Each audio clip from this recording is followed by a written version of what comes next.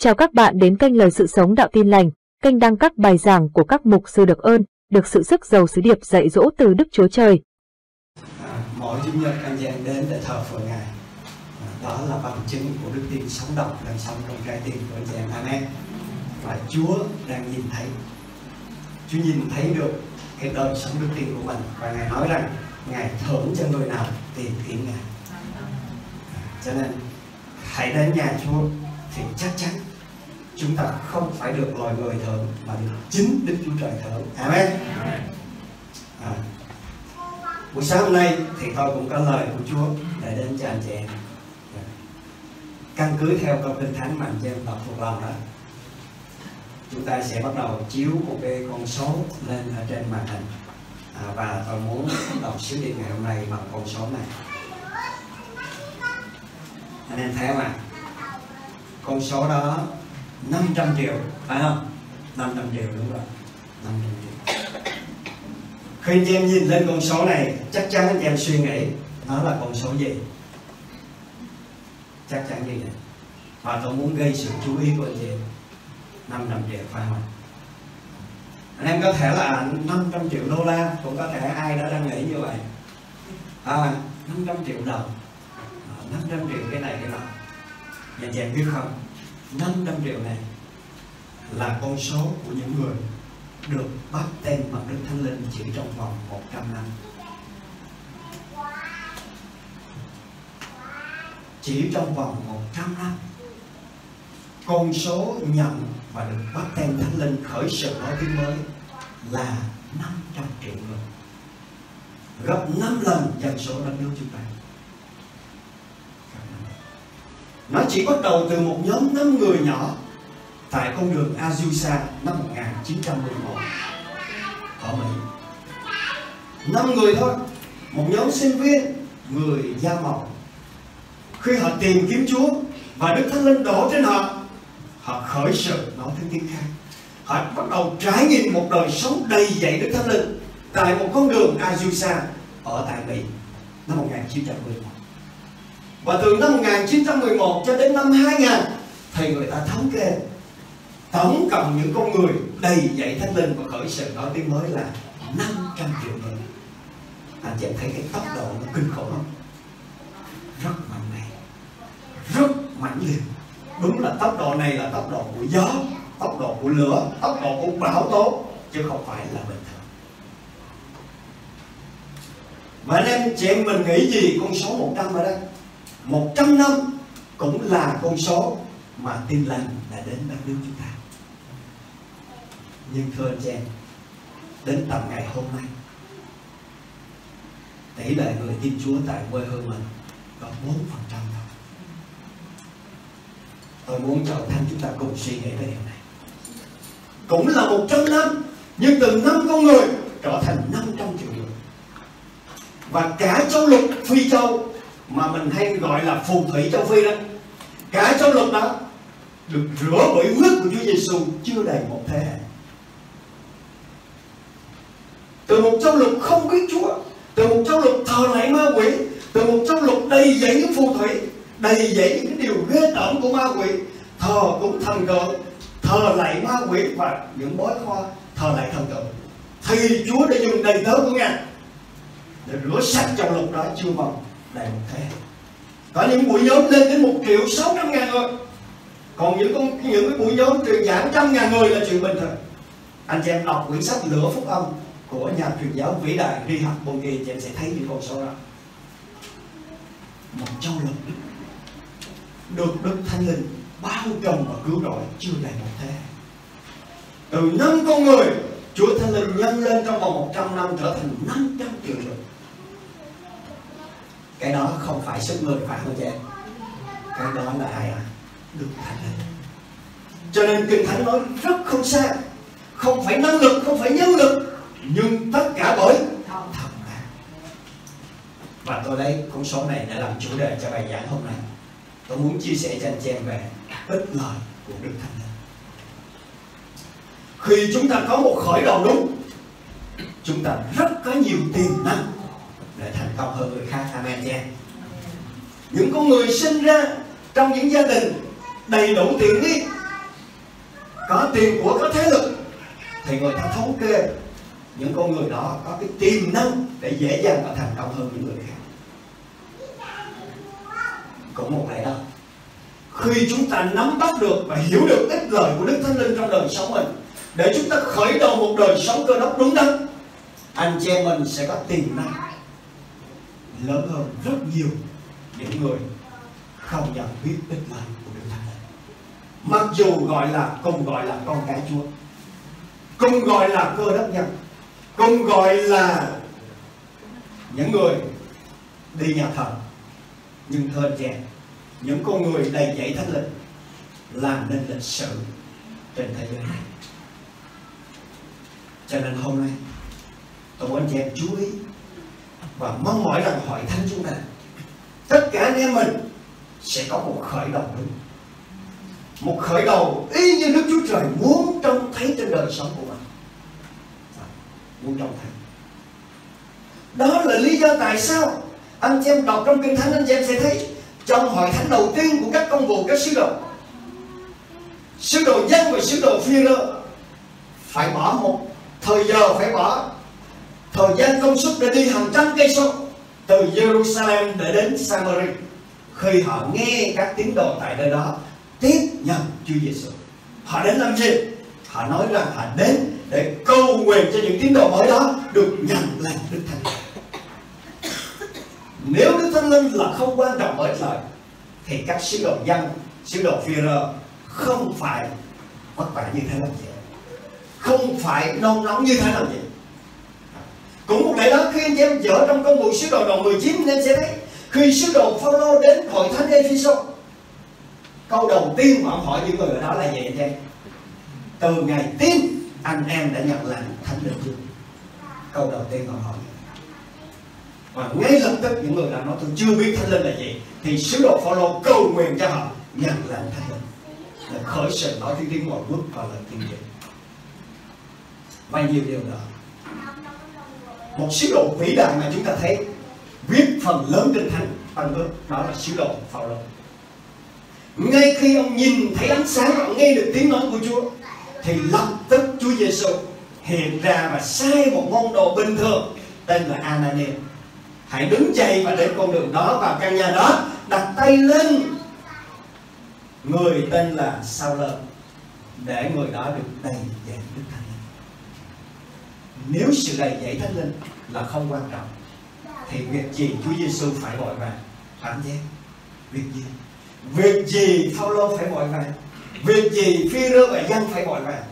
Cho nên, thưa anh em, đời sống đầy dạy đức thánh linh là ích lợi hàng đầu của nếp sống cơ đốc chúng ta. Hàng đầu. Nhà truyền đạo vi hạc bông tiên nói, sự thành công của đời sống cơ đốc nằm ở chỗ các bạn có đầy dạy đức thánh linh này. Nằm ở đó không phải trí tuệ chúng ta, không phải sức lực chúng ta, không phải chúng ta có bao nhiêu tiền, không phải hội thánh chúng ta lớn bao nhiêu, không. Sự thành công của chúng ta nằm ở chỗ chúng ta có đầy dạy thánh linh này. Không cho nên thưa bạn chị đó là lý do mà câu kinh thánh học thuộc lòng hôm nay mà anh em vừa đọc dầu vậy ta đi ở ích sẽ các ngươi vì nếu ta không đi thì đấng an ủi không đến, nhưng khi ta đi, ta sẽ sai Chúa Giêsu thăng thiên về trời, có một mục đích. Nếu không, ngài ở dưới đây cho nó khỏe về trời sống làm gì ngài ở dưới này rồi lâu lâu, ngài đến hội thánh này, ngài hiện ra cả cho nó chấn động thế giới, đúng không? dù hôm nay ngài đến hội thánh nhà muôn dân đang thờ phượng này, ngài hiện ra này. Anh em bỏ tay gầm rầm mốt ngày đến hội thánh kia, ngài hiện ra bỏ tay gầm rầm có phải vậy nó nó, nó hấp dẫn hơn. Nhưng mà không. Chúa nói không. Ta đi là ít làm cho các con. Vì ta đi để Đức Thánh Linh được ban xuống. Đức Thánh Linh ban xuống để làm những việc vĩ đại để có thể nhúng cả một châu lục vào huyết của Chúa Giêsu để có thể khiến cho cả trái đất này được biết và nghe tin lành. Để cho tất cả mọi người từ mọi sắc dân mọi lứa tuổi, mọi nền văn hóa phải biết về phúc âm quyền phép của Chúa Giêsu đó là công tác của Đức Thánh anh thấy mà hội thánh đầu tiên, khi Đức Thánh Linh giáng xuống, từ những con người nhút nhát sợ hãi, thì ngày hôm đó ba ngàn người đã tiếp cận Chúa và dân một hội thánh trong ba ngàn người trong vòng một ngày. Anh chàng có thấy ai xây dựng hội thánh một ngày được ba ngàn người không? Không có. Nhưng trong lịch sử có. Đó là hội thánh đầu tiên tại Jerusalem bởi quyền năng của Đức Thánh. Cho nên, chị em ơi, hôm nay mình cần phải chú ý lãnh hội những cái lời này để cho anh em khao khát ngài, để cho anh em thèm muốn ngài, để anh em ước ao rằng đời sống mình cũng phải đầy dạy thánh linh và ngài sẽ sử dụng cuộc đời mình một cách phi thường. Không phải tầm thường, mà là phi thường. Điều đầu tiên tôi muốn nói ngài đến thay mới và sửa chữa đời sống chúng ta. Tôi nghĩ rằng tất cả anh em mình phải học thuộc câu này. Đức thánh linh đến để thay mới tâm linh, đổi mới tâm hồn và chữa lành thân thể. Các bạn hiểu phải không ạ? Đó. mình có linh, có hồn và có thân thể. Thì đức thánh linh đến, ngài thay mới tâm linh của mình. Tôi gọi đó là sự tái sanh. Thay mới tâm linh anh chị em không có sửa đổi. Nó là một tâm linh mới. Nhưng hồn của anh em được sửa chữa. Và thân thể anh chị em được chữa lành đó là công tác cốt lõi cho nên anh chị em nhớ nha, thay mới tâm linh, thay đổi tâm hồn và chữa lành thân thể đó là công tác. Cho nên ở đây Chúa Giêsu nói rằng khi Đức Thánh Linh giáng trên các ngươi các ngươi sẽ nhận lấy quyền phép để làm chứng về ta. Trong câu một chương một câu tám anh em hãy suy nghĩ một chút về cái chữ quyền phép này. À. nhiều khi mình đọc, thuộc lòng quá nhiều rồi cho nên mình ít suy ngẫm. Nhưng cái chữ quyền phép này nó có nghĩa là quả bom. Nó là quả mìn. Khi đức thánh linh giáng trên anh chị em. Anh chị em có một trái bom của thiên đàng ở bên trong lòng bom là mìn này chứ không phải bom là trái táo ăn đâu, quả mìn. Nhưng cái quả mìn này nó đặc biệt hơn tất cả những thuốc nổ TNT ở trên đất này. Thuốc nổ trên đất này người ta làm ra để cướp, giết, hủy diệt, để phá nát thành phố, để giết người, để làm cho cả thành phố bị nhiễm phóng xạ. Nhưng cái quả mìn thiên thượng mà đức thánh linh đặt trong lòng anh em, khi nó nổ thì nó không phải phá mà nó xây dựng. Anh em thấy quả mìn ở trên đời này chưa? Tôi nghĩ quả mìn đó chỉ có trong công tác bắt tem thánh linh khi năng lực đó được bùng phát trong anh chị thì những gì hư tổn trong cuộc đời anh chị được sắp xếp lại. À, những gì gãy đổ trong cuộc đời anh chị được dựng trở lại. Những gì hư hao những gì khó khăn những gì buồn phiền trong anh chị em được làm lại cho tươi mới. Đó là chữ quyền năng quyền phép mà đức thánh linh giáng cho anh chị em mình khi đức thánh linh động đến khi đức thánh linh đổ đây là quyền phép xây dựng. Đó là một quả pin sẵn sàng nổ sẵn sàng để kích sẵn sàng để đút chốt và nó nổ nó nổ suốt ngày nếu anh chàng muốn. Nó nổ từ sáng đến tối. Nếu anh chàng muốn muốn nổ lúc nào là bởi đức tin anh chàng phóng thích. Khi anh chàng phóng thích sự chữa lành quả pin chữa lành này sẽ nổ ra và anh em được chữa lành. Khi anh chàng phóng thích đức tin của sự giải cứu quả pin này nổ ra và ma quỷ chết hết bỏ chạy hết nóng chịu không được, bỏ đi hết. Cho nên tôi khích lệ anh chị em rằng, hãy nghiêm túc suy ngẫm, hướng lòng về cái quyền phép đức thánh linh mà đức chúa trời đã phú trong lòng của anh chị em. Đôi khi mình sống một đời sống cơ đốc, mình bước đi với chúa và mình quên mất ở trong trái tim anh chị em có một nguồn năng lượng vĩ đại.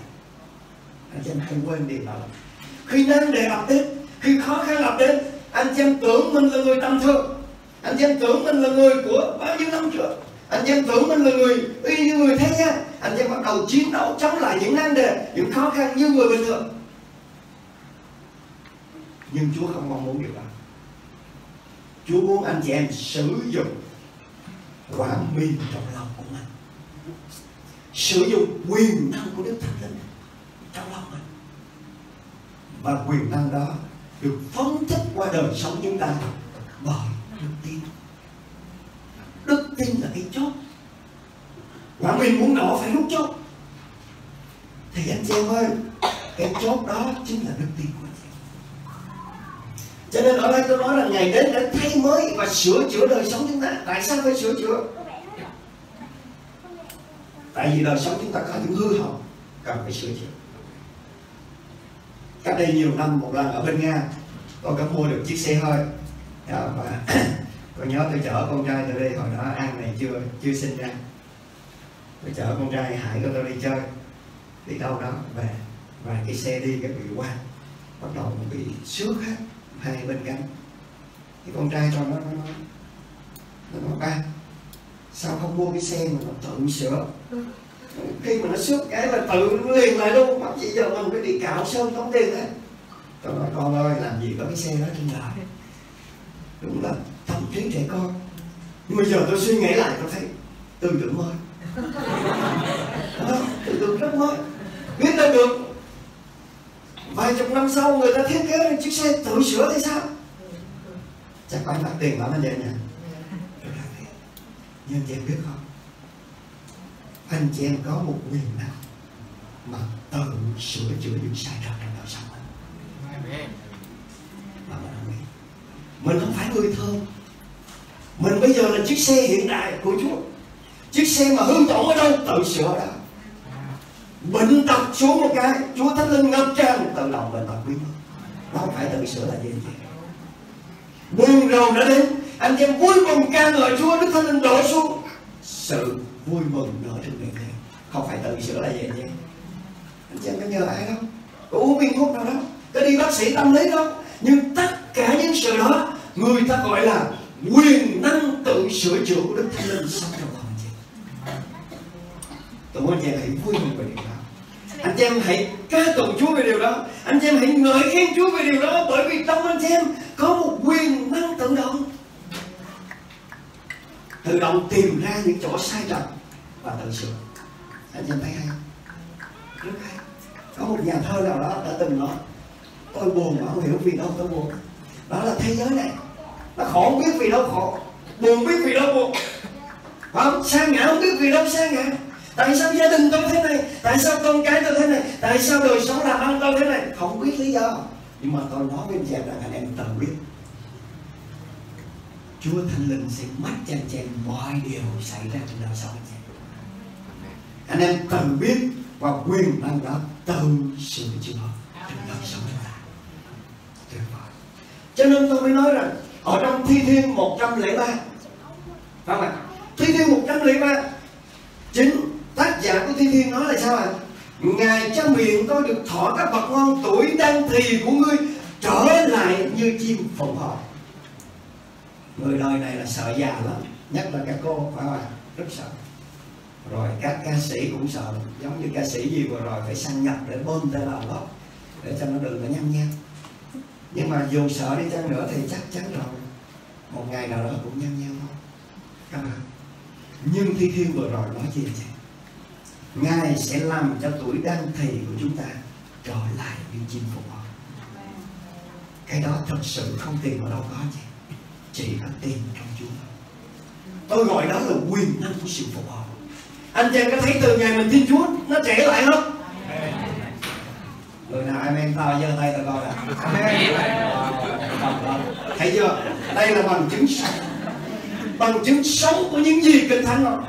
Từ ngày mình tin Chúa, hồn mình trẻ lại, thân thể mình trẻ lại, nét mặt mình trẻ lại, tất cả trẻ lại. Trước ngủ được, bây giờ ngủ được, không trẻ lại mới chịu lạ phải không Chúa làm những điều diệu kỳ Chúa phục hồi mình. Chúa làm cho mình trở nên tươi mới một cách tự động. Nhờ lời và nhờ sự thăm viếng của ngài. Đó là công tác của Đức Thánh Linh. Anh chị em hãy luôn luôn nghĩ và tin rằng trong mình có một quyền năng tự điều chỉnh tự sửa chữa tự làm cho tươi mới những điều sai trật trong đời sống. Quyền năng đó thật là lạ lùng. Anh em chắc chắn tôi nghĩ anh em thuộc lòng thi thiên 23 rồi. À, bạn thi thiên 23 từ câu 2 đến câu 4 Chúa đang nói về quyền năng. Đó David ông nói rằng Ngài khiến cho tôi yên nghỉ nơi đồng cỏ xanh tươi, Dẫn tôi đến mấy nước bình tĩnh. Rồi sao nữa chị em Bỏ lại linh hồn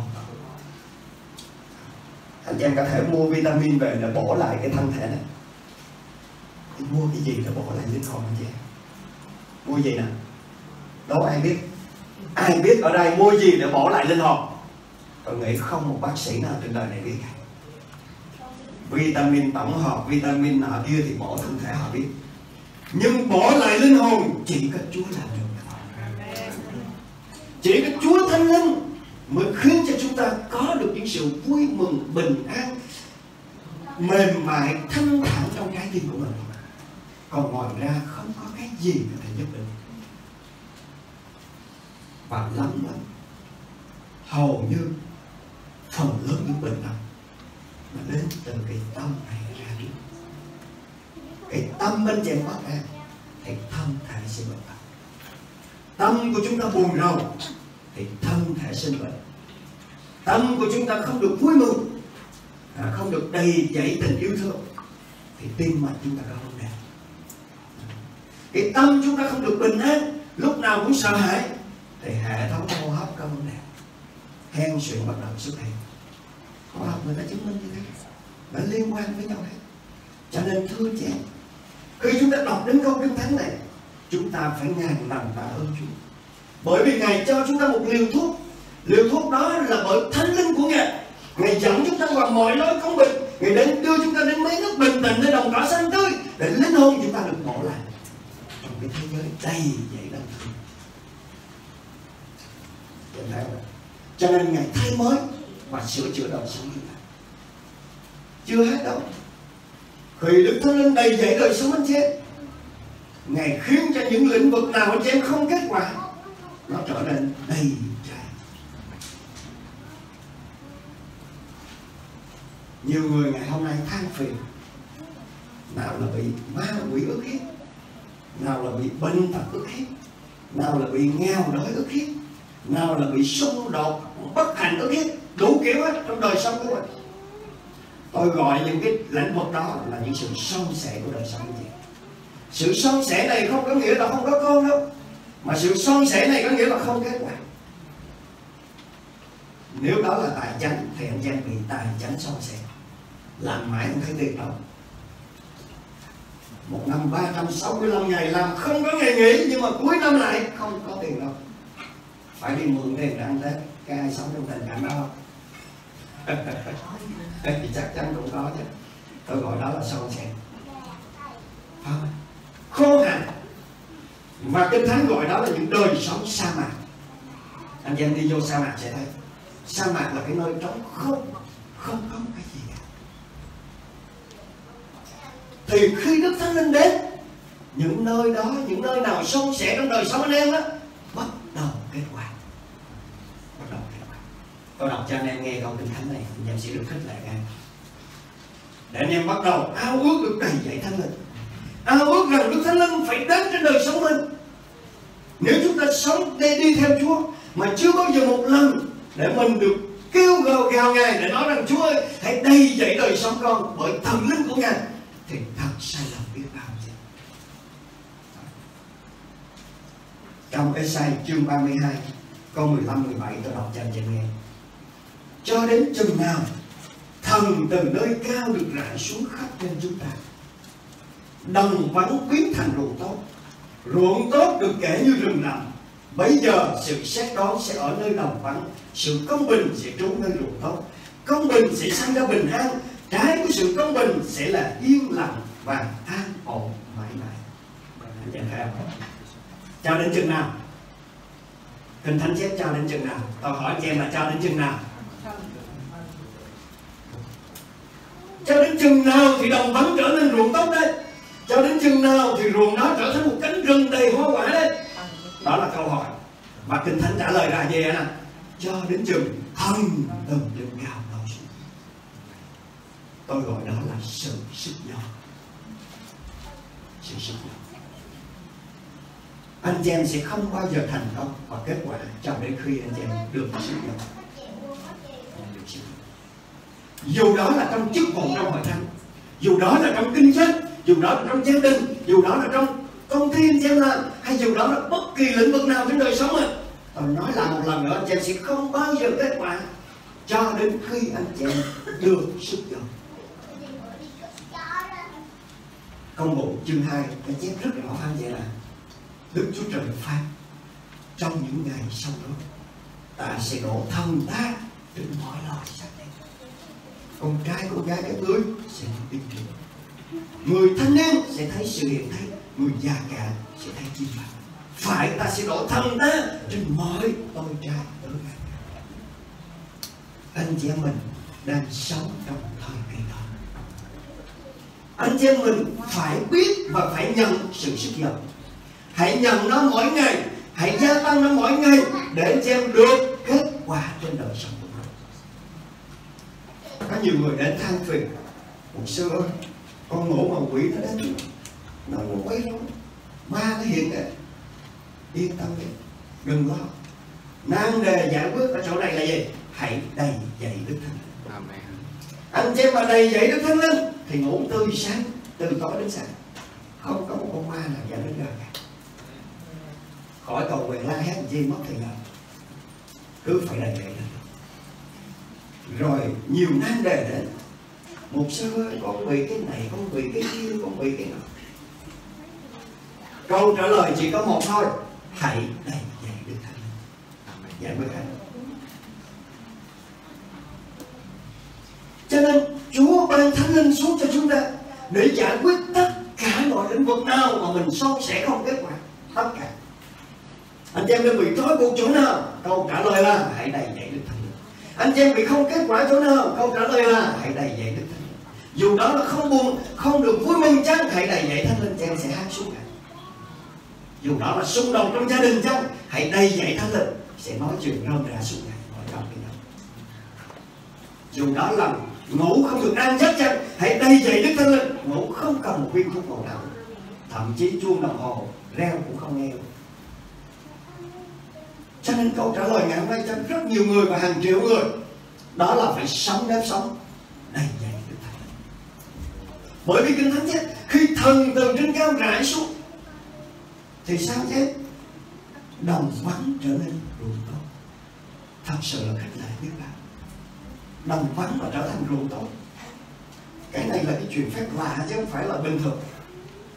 Câu này nó có nghĩa là đời sống chúng ta bắt đầu sao? Cái đời sống chúng ta bắt đầu sinh ra bông trái đời sống chúng ta bắt đầu thấy được những cái thành quả của cái đầu tư tâm linh của mình. Nhiều người ngày hôm nay đi với Chúa bao nhiêu năm và nói đi với Chúa khổ quá. Tôi ráng trung tín cho đến cuối cùng là tôi lên thiên đàng kiếm cái thùng cà tông ở lại. Anh chị em ơi đi với Chúa không có khổ. Có hoàn nạn có bất bớ nhưng đó là bên ngoài thôi. Còn trong nội tâm anh chị em là thiên đàng. Amen. trong trái tim anh chị em là thiên đàng trong tấm lòng anh chị em là thiên đàng còn nếu mà nói đi với Chúa khổ tâm quá thì hãy xem lại. Xem lại đi. Xem thử anh em có được sức giàu chưa? Anh em có được đầy dạy thánh linh chưa? Anh em có nắm được cái mấu chốt vấn đề là phải có thần từ nơi cao rải xuống chưa? Nhiều người ngày hôm nay đi với Chúa và nói Ôi tôi trung tín tôi dân một phần mười tôi dân từ đầu năm đến cuối năm mà chẳng thấy nó mập gì cả Tôi càng dân tôi thấy càng túng thiếu Tôi thấy được đáp lại trong lòng không gì cả. Ở đây Và đó cũng là sự thật đó anh chị. Em. Tôi muốn nói cho anh em một cái nguyên tắc. Để anh em dân một phần mười mà không phải nói câu đó. Anh em dân một phần mười. Nhưng nếu anh em thiếu đầy dạy thánh linh, Nó sẽ không hợp cho anh em đâu. Anh biết tại sao không? Thánh linh là nước. Thánh linh là mưa Thánh linh là dòng sông sự sống đổ từ trên cao xuống trên đời sống chúng ta. Hạt giống anh em gieo ra là đúng rồi. Dĩ nhiên anh em không gieo, thì không trong đời một mùa gặt nào cả. Cái chuyện đó hiển nhiên rồi. Không ai thắc mắc. Không ai ngồi đây sẽ thắc mắc là tôi không dân một phần mười mà đời sống tôi chẳng thấy kết quả gì. Thì đúng rồi, không ai thắc mắc cả. Nhưng chỉ thắc mắc ở chỗ là tôi dân hiến một phần mười tôi làm nhiều điều thiện mà sao đời sống tôi không kết quả? Thì câu trả lời là, hạt giống không có vấn đề, nhưng vấn đề là anh em thiếu nước. Anh em đem hạt giống ra rải ngoài đường này, nó có mọc không? Không. Phải rải vào một đời sống đầy dạy đức thánh linh cho nên tôi khích lệ anh em đừng chỉ giống một phần mười. Rồi chờ đợi. Không. Hãy giống một phần mười sau tưới nước cho hạt giống của mình bằng một đời sống đầy dạy đức thánh linh tôi đảm bảo những gì chị em gieo ra sẽ bắt đầu trở thành một cánh đồng, một cánh đồng. Chỉ cần một hạt giống anh em mở ra nó sẽ nảy nở lên một trăm lần trong bàn chân chị đời sống anh em sẽ đi từ thịnh vượng này đến thịnh vượng khác. Đời sống anh em sẽ đi từ dư dật này đến dư dật khác. Khi anh em đầy dạy đức thánh linh phải sức dầu. Cho nên anh em thấy trong Ê-sai chương 35 có nói với chúng ta về một ít lợi nữa. Đó là nó rất là rõ. Đây là bức tranh của những người sống trong thời đại tăng ước mà ngày hôm nay chúng ta không thấy ở nhiều người nhiều hội thánh là bởi vì sai sót ở phía chúng ta, không phải sai ở phía Chúa. Chúa đã chu cấp đầy đủ. Chúa đã chuẩn bị đầy đủ. Chúa đã trang bị cho chúng ta đầy đủ để sống một đời sống kết quả cho cả. Vấn đề nằm ở phía chúng ta, không phải phía Chúa. Đó. đồng vắng và đất khô hạn sẽ vui vẻ. Nơi sa mạc sẽ mừng rỡ và trổ hoa như bông hường. Nó trổ hoa nhiều và vui mừng. Các tiếng hát hớn hở, sự vinh hiển của Liban cùng sự tốt đẹp của cặp bên và Saron sẽ được ban cho nó. Chúng sẽ thấy sự vinh hiển Đức giê va và sự tốt đẹp của Đức Chúa Trời chúng ta. Trong chương 35 và câu năm nói sao vậy? Bây giờ kẻ mù sẽ mở mắt, kẻ điếc sẽ động tay. Bây giờ kẻ què sẽ nhảy với con nai lưỡi người công sẽ hát. Anh em thấy bức tranh của đời sống tăng ước không? Đây là bức tranh của những hội thánh đầy dạy thánh linh. Đây là bức tranh của những cuộc đời đầy dạy thánh linh. Đây là bức tranh của những quốc gia đầy dạy thánh linh. Ở đó sẽ không có một cái sự gì sai trật. Rồi sao nữa anh chị em tại đó sẽ có một đường cái và một lối gọi là đường thánh. Kẻ nào ô uế sẽ không đi trên đó. Khi đời sống chúng ta đầy dạy thánh linh, có một con đường rộng mở mà kinh thánh gọi là con đường thánh. Con đường đó sẽ mở ra trong công việc kinh doanh của chị con đường đó sẽ mở ra trong công việc phục vụ Chúa của chị con đường đó sẽ mở ra trong gia đình của chị con đường đó cũng sẽ mở ra trên con cái của anh chị. Trên đời sống tâm linh, tâm hồn, thân thể của anh chị. Con đường thánh đó mà không một sự ô uế nào giúp cả anh em đọc tiếp sẽ thấy. Trên con đường đó, sư tử sẽ không có. Sư tử là gì? Ma quỷ. Cho nên không một người đầy dạy thánh linh nào mà nói là ma quỷ nó hành động. Không có. Quỷ làm sao có thể đến gần người đầy dạy thánh linh? Quỷ làm sao có thể đến gần người, hưởng tròn ân điển của giáo ước mới? Không thành bệnh tật cũng không, mù lòa cũng không biết cũng không què cũng không. Tất cả những sự đó trốn hết và kinh thánh chép sao? Kinh thánh chép gì này.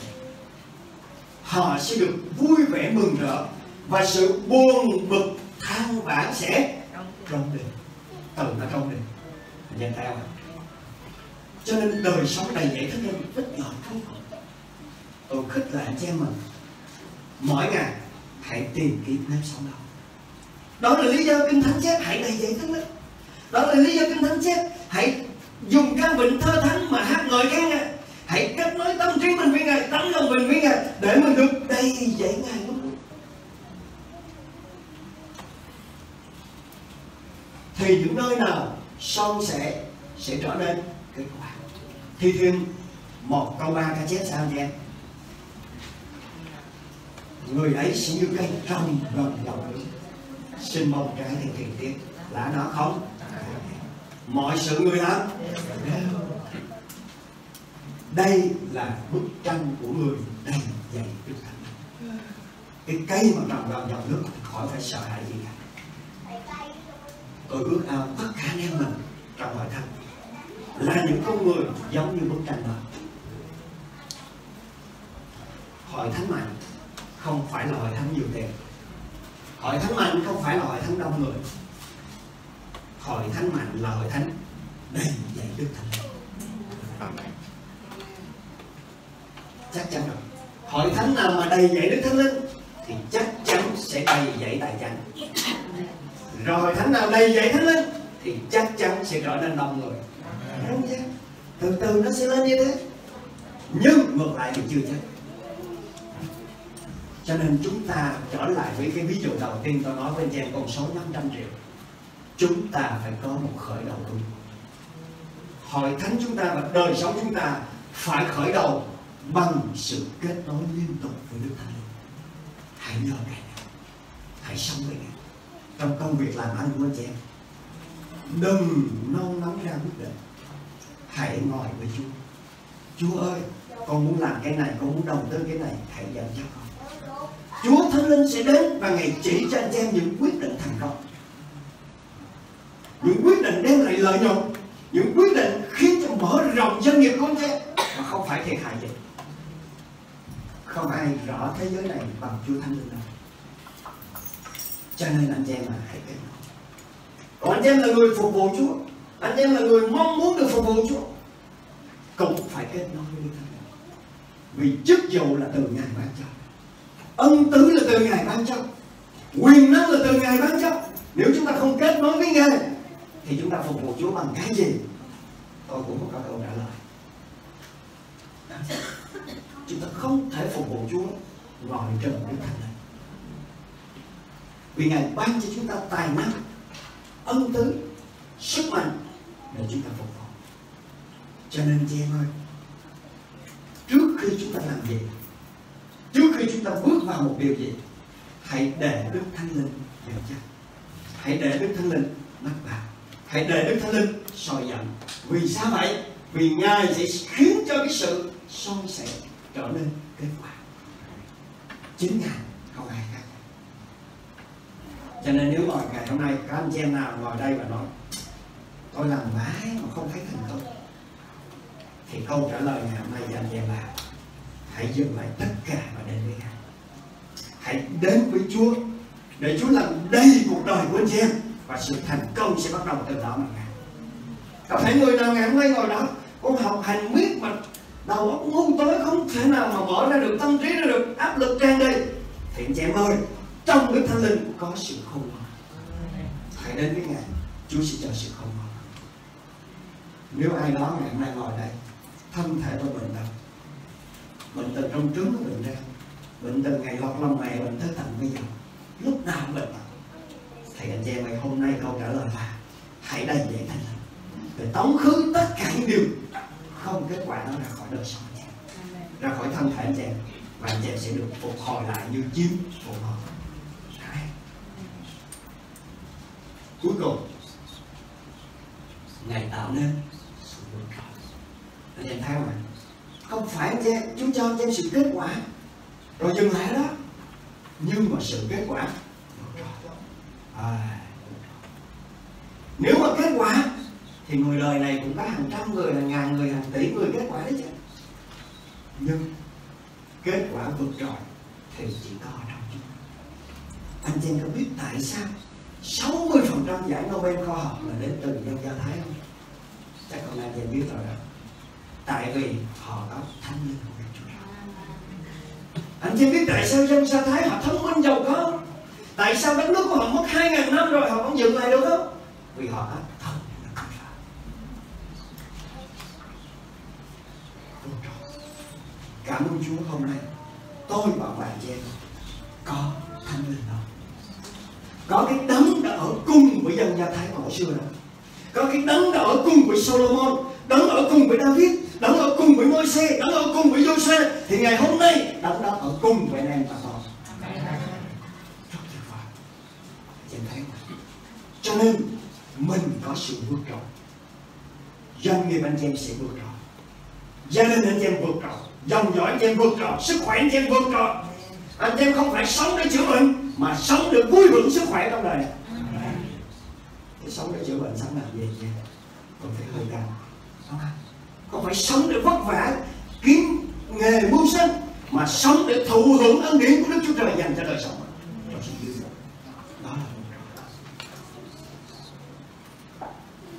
Nếu chị em đọc trong Đa Nhiên chương 6 câu 3 chị em sẽ thấy. Để ý một chút xíu trong câu kinh thánh này. Rồi. Đa Nhiên chương 6 câu 3 Câu động cho em nghe. Và Đa Nhiên lại trói hơn hai quan thượng thơ kia. Và các quan trấn thủ Vì sao ạ?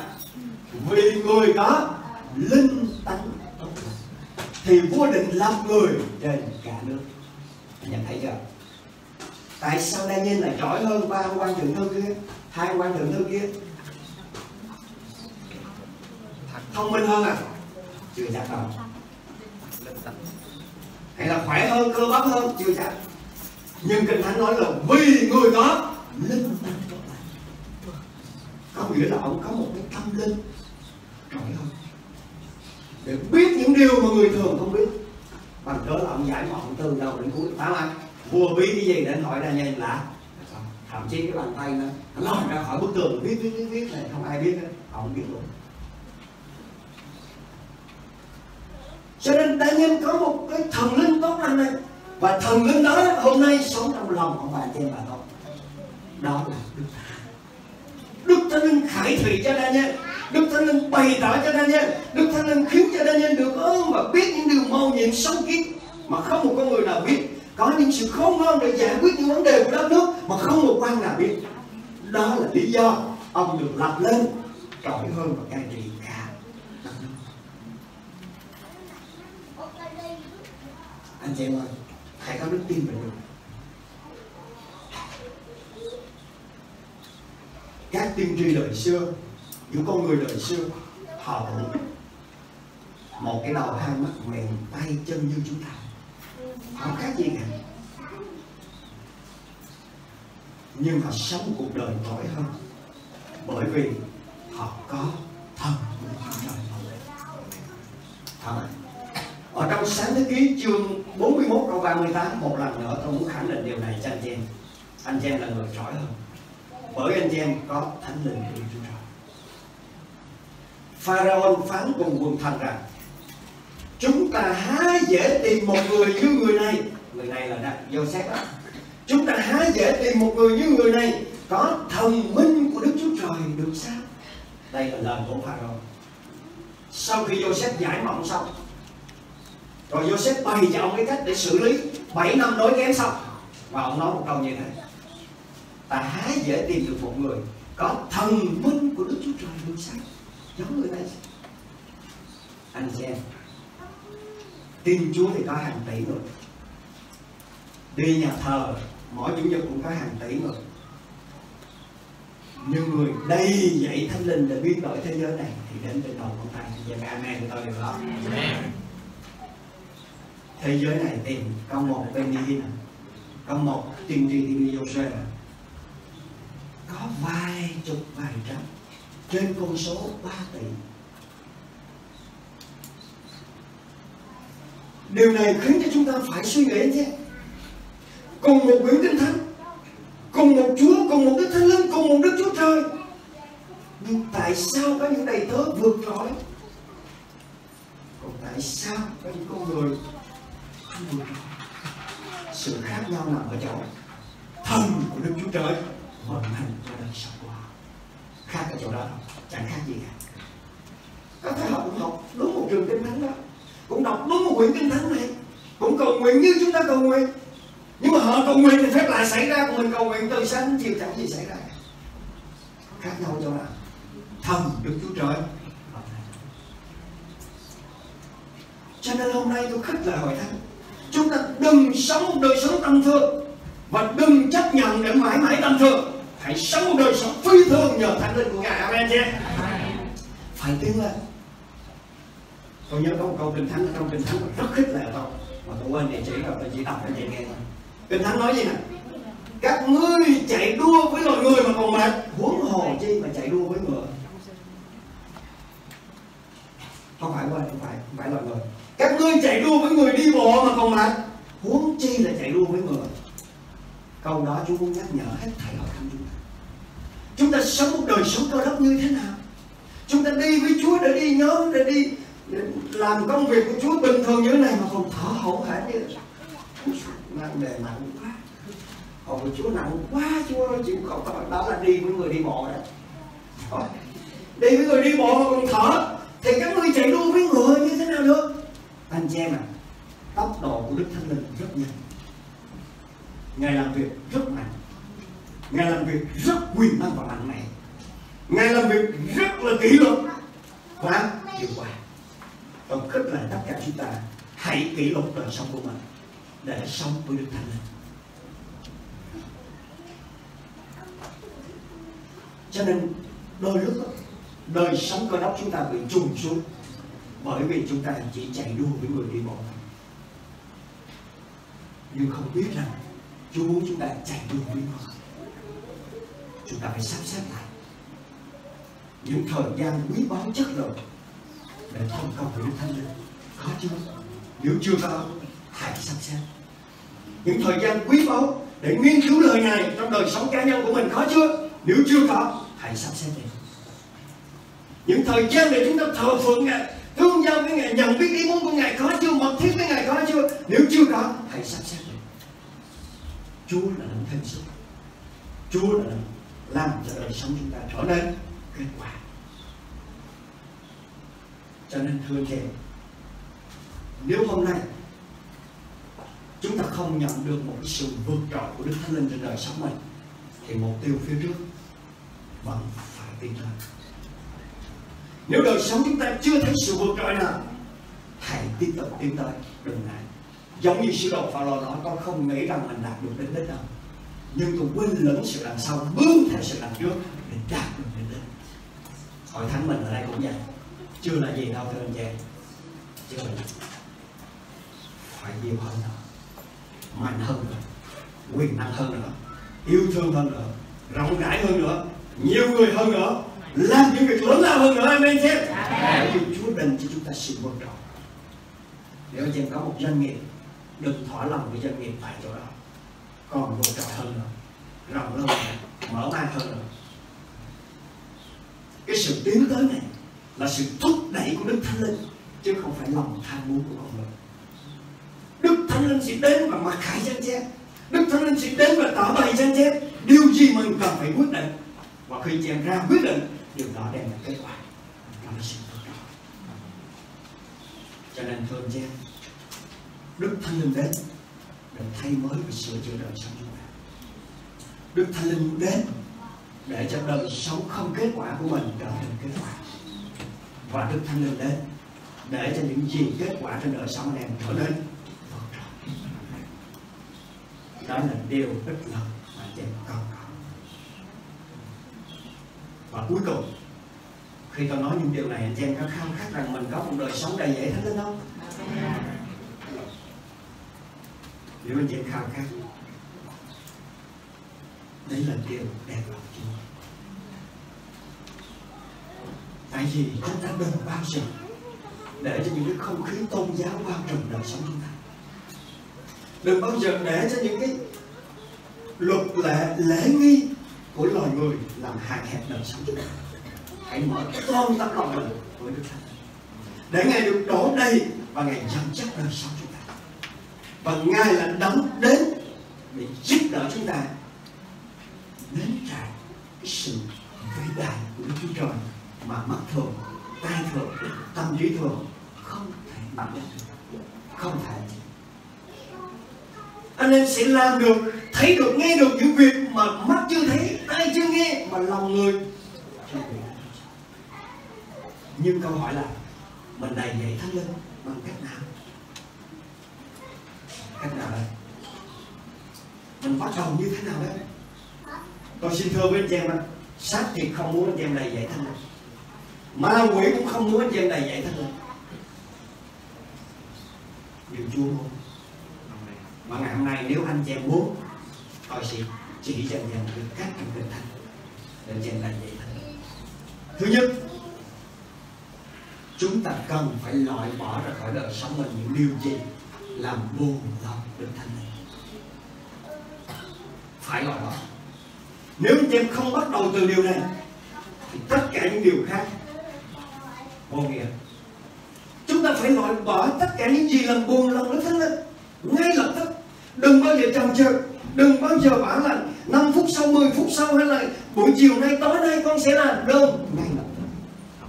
Khi đức thánh linh chỉ cho anh em, lập tức bằng sự ăn năn những sự đó là gì? Những sự cay đắng. Buồn phiền. Tức mình. Kêu reo. Chửi rủa.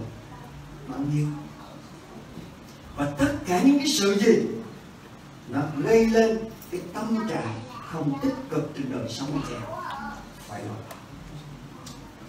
nhân dân Chúa Giêsu đã rửa sạch đấy là cái đầu tiên. Sau nữa nha phàm những sự, gian dâm, ô uế lưu tồn.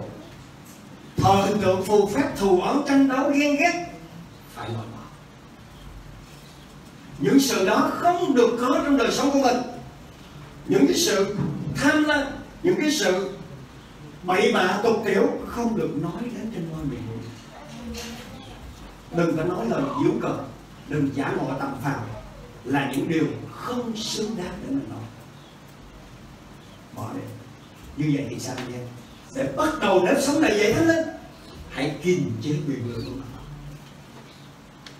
Vừa rồi tôi có viết trên facebook cái câu đó anh em rồi. Họ tự nguyện miệng mà ra bệnh tự miệng mà vô. Cho nên, cái miệng của mình đôi khi nó nói ra những cái điều không kiềm chế và những sự đó làm buồn lòng. Những sự đó làm vẫn đục cái hồ nước sống mà được thánh linh bao trùm trên đời sống. Anh em có biết là khi anh em được bắt tem thánh linh là anh em được đang nhúng trong thánh linh không? Mà thánh linh là biểu tượng của nước. Anh em đang bơi lội trong môi trường thánh linh. Anh em ở trong hồ nước thánh linh. Nhưng khi anh em suy nghĩ những điều tiêu cực nói những điều tiêu cực bậy bạ tục tiểu giả ngộ tầm phàm, anh em lan vào hồ nước đó quỷ tôi muốn lấy cái hình ảnh để cho nhân tự tưởng tượng ra. Nhân đang đi lại trong cái hồ nước như này, rất là trong vắt rất là bình an, rất là vui mừng. Đầy dậy phước hạnh yêu thương. Nhưng ngay khi có những điều tôi vừa nói cho anh em giữ trong lòng, lập tức những hồ nước xung quanh em vẫn được trở nên không còn trong sạch. Và đức thánh linh không thể vận hành qua đời sống.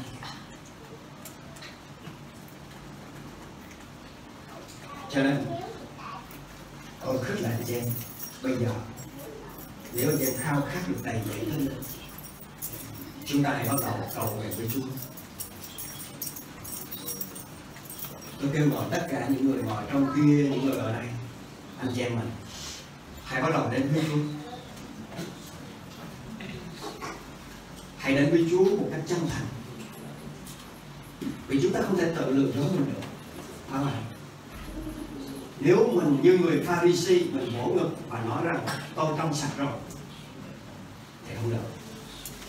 Bởi vì nếu chúng ta thật sự là một người đẹp lòng ngay thì chúng ta đáng được khen ngợi, đáng được chúc tôn đáng được tôn vinh, đáng được Chúa sử dụng.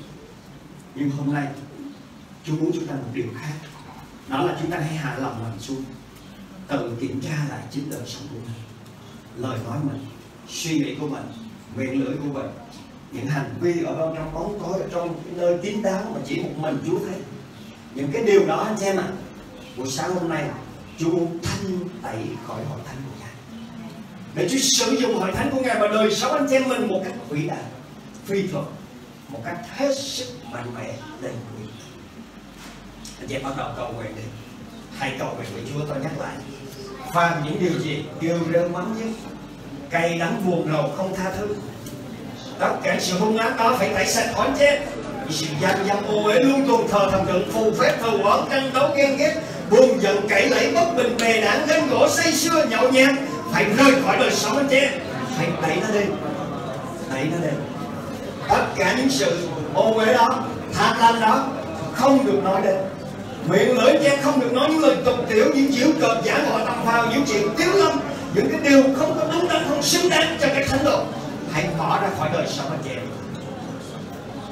Hãy xin Chúa tẩy sạch. Anh chị em hãy tẩy sạch. Chúa thánh lên ơi con câu về Chúa hãy đến. Hãy đến giữa hội thánh của Ngài. Hãy thanh tẩy chúng con thanh tẩy chúng con thanh tẩy chúng con khi em quay mặt lại trở lại công nghệ khi chúng ta xoay mặt lại công nghệ khi chúng ta xoay lưng lại với xác thịt và tội lỗi, thì Chúa thánh linh sẽ đến thăm viếng và đổ đầy anh chị em mình Hallelujah. Hallelujah. Hallelujah. Hallelujah. Hallelujah. Hallelujah. Dù đúng hay dù sai, anh chị em không được quyền giữ sự bất phạm trong lòng. Anh chị em có oán trách người nào không? Anh chị em có thù oán người nào không? anh chị em có thấy căm ghét người nào không hôm nay phải tha thứ cho bằng hết hãy tha thứ hãy tha thứ hãy tha thứ dù người đó không đáng yêu chuộng đến mức nào thì Chúa cũng nói là chúng ta không được quyền không được quyền có trọng, không được quyền lên án không được quyền say con không được quyền chỉ trích, không được quyền nói những điều cay đắng hãy tha thứ, hãy tha thứ, hãy tha thứ. Hãy buông tha, hãy buông tha. Anh em có buồn rầu trong không anh em có cảm thấy ngã lòng không anh em có cảm thấy bị sờn lòng không anh em có cảm thấy không hề lòng không hãy nói với Chúa Chúa, hãy tha thứ cho con cảm xúc này. Hãy tha thứ cho con suy nghĩ này. Hãy tha thứ cho con điều này. Con quyết định sẽ vui mừng mãi mãi. Con quyết định sẽ sống trong sự bình ấy, con quyết định sẽ sống trong sự hòa thuận. Hãy có cái Chúa điều đó? Anh chị em ơi chỉ có sự an lành thật mới mở cửa cho thánh linh của ngài tràn trong đời sống chúng ta. Hãy soi xét anh em hãy soi xét hãy soi xét hãy soi xét đôi lúc có những bệnh tật nó đến từ những cái điều tội lỗi đó. Khi anh em ăn nên thì bệnh tật lập tức được chữa lành. Hãy tha thứ hãy bỏ qua hãy yêu thương hãy làm cho những điều tốt lên đến trên tâm trí anh em giờ này đến trên môi lưỡi anh em giờ này hãy rửa sạch nó bằng huyết của Chúa Giêsu giờ này. Hãy thanh tẩy nó.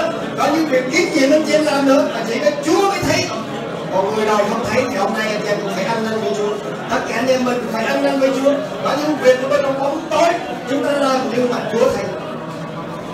Hãy tẩy sạch, hãy tẩy sạch, hãy tẩy sạch. Chúa nói người nên thánh, hãy thánh rồi.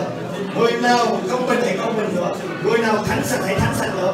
Hãy Chúa cũng cầu nguyện chay giáo hãy thăm biến mọi thánh của ngày giờ này hãy thăm viếng hội thánh ngay giờ này hãy thăm viếng hội thánh ngay giờ này hãy thăm viếng hội thánh ngay giờ này hãy thăm viếng hội thánh ngay giờ này hãy thăm viếng hội thánh ngay giờ này cha trong danh của Giêsu quyền năng ôi con kêu quyền của huyết Chúa Giêsu trên hội thánh của Chúa giờ này, hãy rửa sạch chúng con lại Chúa. Hãy rửa sạch chúng con lại Chúa. Hãy rửa sạch chúng con lại Chúa. Hãy rửa sạch chúng con lại Chúa.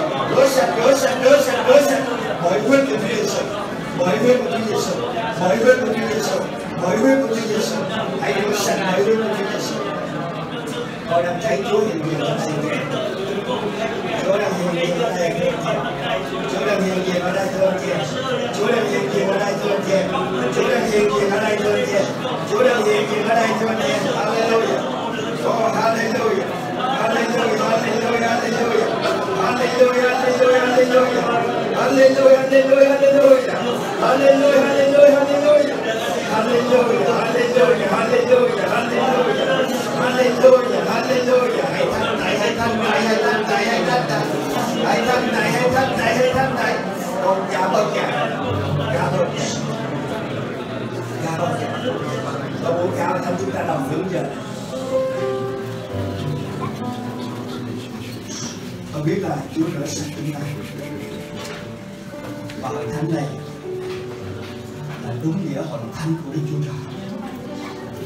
Chúng ta cam kết một đời sống thánh khiết trước mặt Chúa.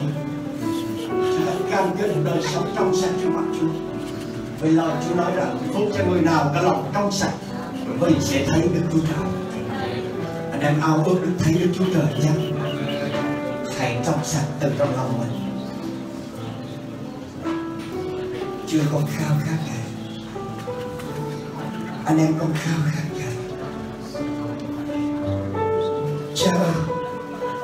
Đến và làm sạch trái tim chúng con. Hãy đến và điều chỉnh những suy tư của chúng con. Hãy đến và giúp chúng con cầm giữ quyền lực của mình. Và rửa chúng con nên sạch bởi huyết máu của Ngài.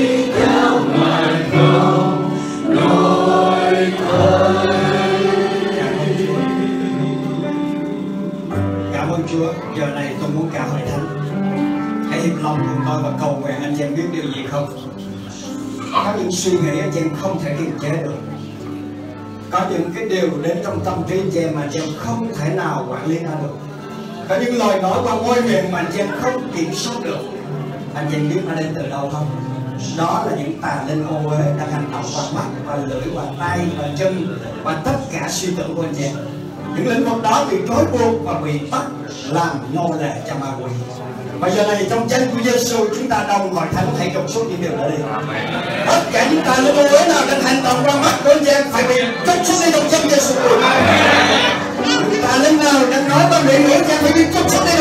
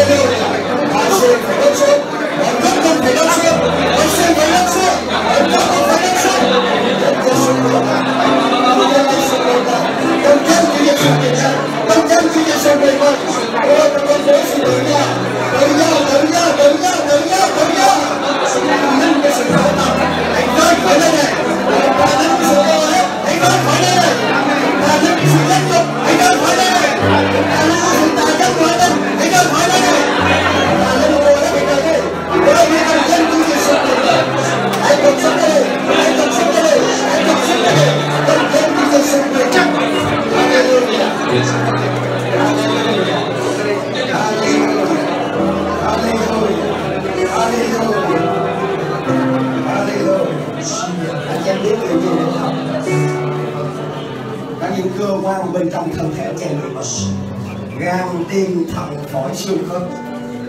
Anh em cần phải đuổi những tà linh bệnh tật đã đơn rồi. Anh em cần phải đặt tay lên chỗ đau của mình. Đầu anh em đau chẳng thể đặt tay lên đầu. Mắt anh em đau chẳng thể đặt tay lên mắt. Lên tay lên tay, lên chân. Và rơi lên cho những tà linh đó, phải rơi khỏi thân thể của anh em. Nó không có quyền cư trú trong thân thể là đời thờ thanh anh em hãy cầu nguyện nào nunca me deixa de chorar. Na praça de tapete, que eu vou botar na. Không thể cái tiếng đời này đây. Phải được lên nó chân của Giê-xu Kitô Hãy được lên lên nó chân của Giê-xu Kitô Hãy được phục hồi nó chân của Giê-xu Kitô Điều đó là đầu óc Điều đó là sâu mũi Điều đó là lưu Điều đó là cuộc sống Điều đó là tim.